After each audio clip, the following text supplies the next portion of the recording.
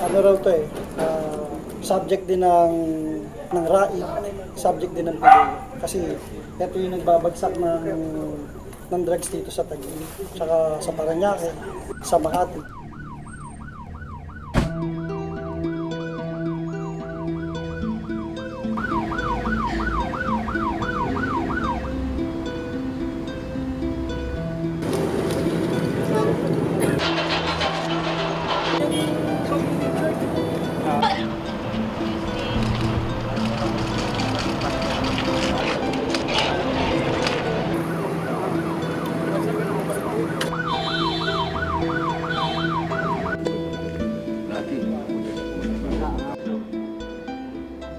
Ah, bali dun sa ano, may mga pumasok na pulis, tapos may tatlong putok na narinig. Bali, ang ano ko lang, hindi, hindi safe. Kasi mas maganda sana kung hulihin. Huwag naman patayin. Kasi unang-una, sa utos ng Diyos, bawal talaga pumatay. Yun ang nakakalungkot na ano, pangyayari.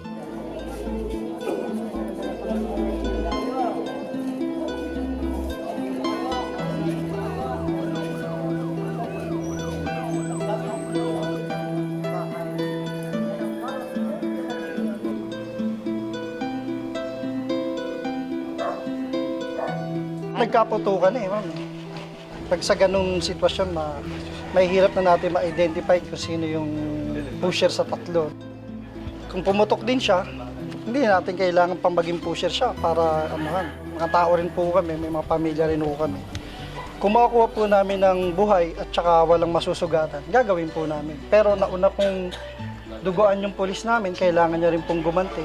Eh, doon pa lang mapapatunay na wala po kami nilalabag na human rights po. Malayo. Masakit po para sa akin, pero thankful na lang po ako at least naputol. Bakit ka nagpapasalamat na patay na yung tatay mo? Eh kung balita po na ganyan yung ginagawa niya, at least di na ho madadagdagan. Pero masakit sa akin kasi papa, papa ko po yun. Tatay ko yun eh. Wala si Papa!